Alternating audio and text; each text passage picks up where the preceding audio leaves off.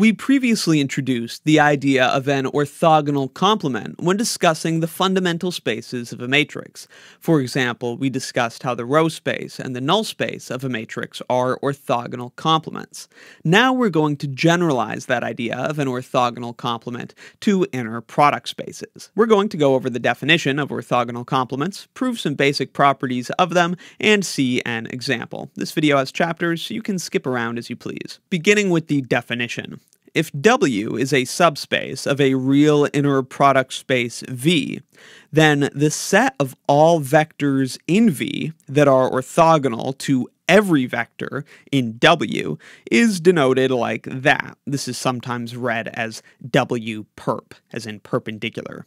And it's called the orthogonal complement of W. That's what that is. Again, it's the set of all vectors in the relevant inner product space that are orthogonal to every vector in W. For an example, in this picture, we're looking at R3, and this plane W through the origin is a subspace of R3. The orthogonal complement of W turns out to be this line through the origin, W perp, every single vector that exists on this line is orthogonal to every single one of these vectors in W. Here are two basic but important results about orthogonal complements which we will prove. If W is a subspace of a real inner product space V, then the orthogonal complement of W is also a subspace of that inner product space V. Also, the intersection of W and W perp, the orthogonal complement, is equal to the zero space, the subspace that contains only the zero vector. So W and its orthogonal complement will not have any vectors in common except for the zero vector, which agrees with this picture for what it's worth. To begin our proof for part A, showing that the orthogonal complement of W is a subspace of V, we'll begin by showing that the zero vector is in the orthogonal complement of W. To do this, notice that the inner product of 0 with W must be 0 for all vectors W in that subspace W. This is because the inner product of any vector with the 0 vector is equal to 0. So, by definition, 0 is an element of the orthogonal complement of the subspace W because the zero vector is orthogonal to every vector in the subspace W. So it's got to be in the orthogonal complement. Then all that remains is to show that the orthogonal complement of W is closed with respect to addition and scalar multiplication. Now that we know that the orthogonal complement of W is not empty, we can take arbitrary vectors from it.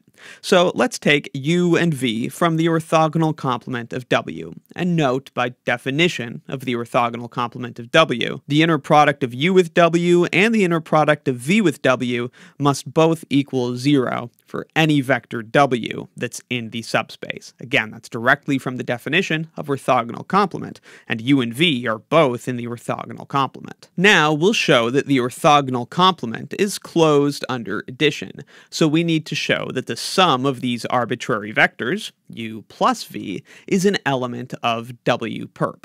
To do this, consider the inner product of u plus v with an arbitrary vector w from the subspace.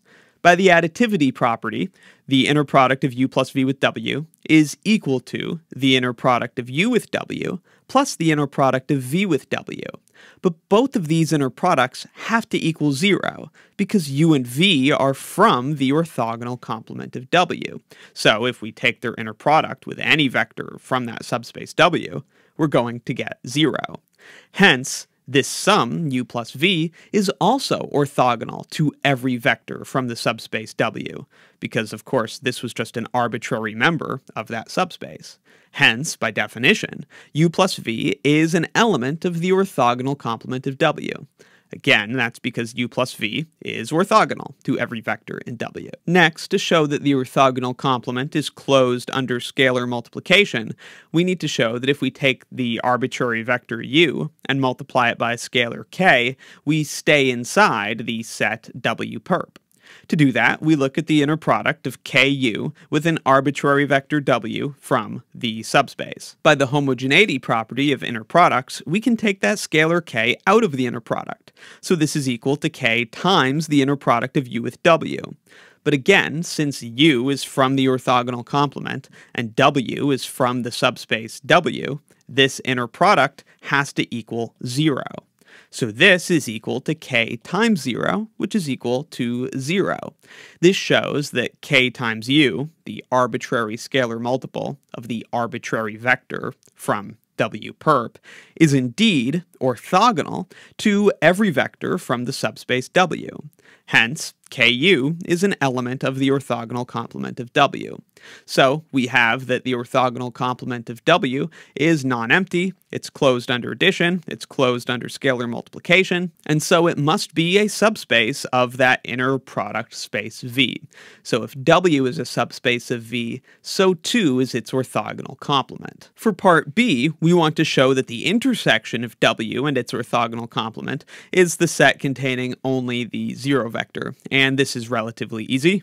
If V is a vector that's in the intersection of W with its orthogonal complement, then of course, by definition of intersection, V is an element of W, and V is an element of the orthogonal complement. And this means that the inner product of V with V must equal zero, because V is an element of W, and it's also in the orthogonal complement. So V must be orthogonal to every vector in W, but v is a vector in W, so v has to be orthogonal to itself. So the inner product of v with v has to be zero, but we know that the only time that happens, that the inner product of a vector with itself is zero, the only time that happens is when the vector is the zero vector. Hence, any vector that's in this intersection of a subspace with its orthogonal complement would have to be the zero vector. So the intersection of a subspace with its orthogonal complement is the zero subspace.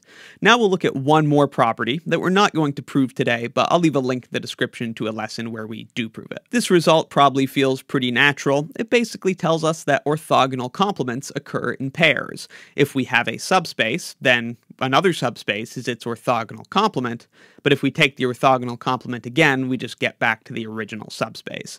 So if W is a subspace of a real finite dimensional inner product space V, then the orthogonal complement of the orthogonal complement of W is just W, which we can write like that. Perhaps that makes it more clear what is being said. So for example, going back up to that picture in R3, we had the subspace, which was this plane through the origin, and its orthogonal complement is this line, which is normal to the plane and also passes through the origin.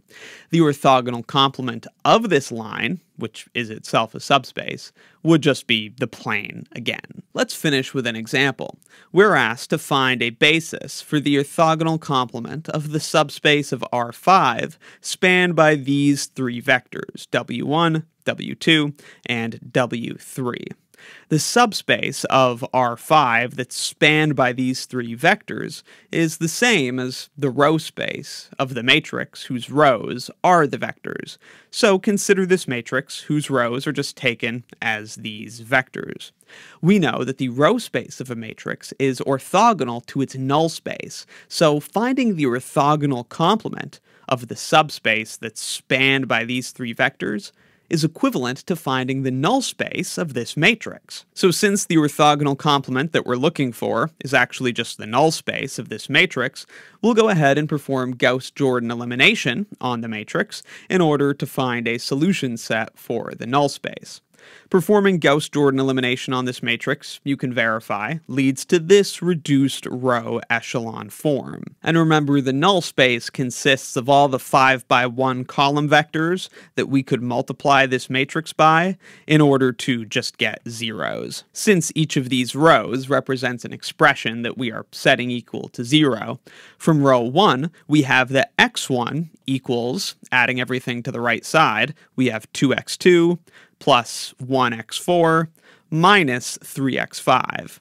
And from row 2, we have that 1x3 equals negative 2x4 plus 2 x5. So x1 and x3 are our leading variables, but the other variables, x2, x4, and x5, are free variables, so we can assign them to arbitrary parameters, say x2 equals r, x4 equals s, and x5 equals t. Then the null space of the matrix consists of all vectors of this form, where r, s, and t are free. And of course, we can rewrite this vector as this sum of vectors, where each one captures the coefficients of one of the arbitrary parameters. This one is the coefficients of r, for example. And thus, it is these three vectors, which are linearly independent, which we can use as a basis for the orthogonal complement. These three vectors span the orthogonal complement of w. That's v1, that's v2, that's v3, and together we can combine these vectors in infinitely many ways to obtain all of the vectors in W perp. And again, this process always produces linearly independent vectors, so these three vectors do indeed form a basis for the orthogonal complement. So that's a little bit about orthogonal complements in inner product spaces. Let me know in the comments if you have any questions, and be sure to check out my linear algebra course and linear algebra exercises playlists in the description for more. If you find my videos helpful, please consider supporting what I do by joining Wrath of Math as a channel member. You can get early and exclusive access to videos and extra practice, and if you join at the premium tier or above, you can access the lecture notes for this course. Thanks for watching. Stressed out, sweetie, I'm stressed out. Sounds like you've been stressed out. Tell me what you're stressed about. Stressed out, honey, I've been stressed out lately. Don't know what's what, don't know what I'm stressed about. Stressed out, sweetie, I'm stressed out. Sounds like you've been stressed out. Tell me what you're stressed about.